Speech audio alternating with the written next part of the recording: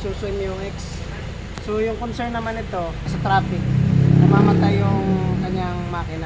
Combination ng mga uh, Isuzu MU-X, yung throttle body. Pansinin ninyo, pag nakasarado siya, kung talaga siyang puwang, kaya puwang ba yun? Tawag doon ba? May buslot din eh. Namamatay yung makina kasi walang pa, walang hangin na papasok. So, meron tong adjustment dito sa loob. Sungkit, sungkitin lang natin to, yung kanyang lock. It's sungkitizing lang. So ito, pwede mo yung ganyanin. Side, electronic side niya. Dito yung sensor natin. Yung sinasabi kong adjuster, yan ito.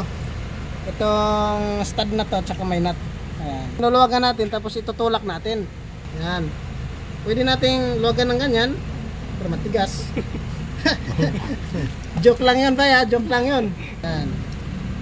Yan. So pagkaluwag ng nut, yan. Itong stud naman, gamitan nyo ng pwede pilip or maliit na flat screw. Yan. Kita ninyo, meron ng kunting clearance. So saka natin higpitan tong nut. So linisan nyo lang yan, kabilaan. Hanggang ah, matanggal yung carbon.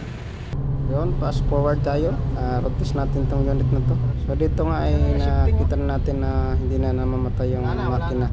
So yun lang mga paps. Maraming salamat.